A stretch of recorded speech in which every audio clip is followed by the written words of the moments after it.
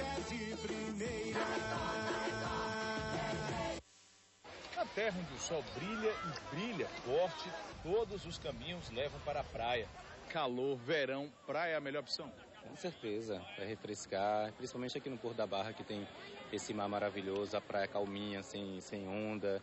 É bem bacana. Dá É o pra programa gente- ideal. Com certeza. Nos 50 quilômetros de orla da capital baiana, o banho de mar refresca o calor de mais de 30 graus.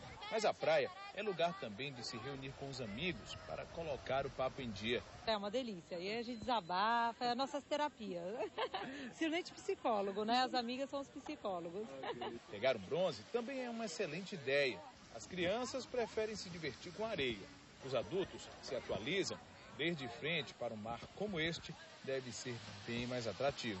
Porque você se sente melhor em contato com a natureza, fora do estresse do dia a dia, Se torna mais agradável. com certeza. Muito gostoso, né? Um ambiente, na verdade, contribui para a absorção na leitura.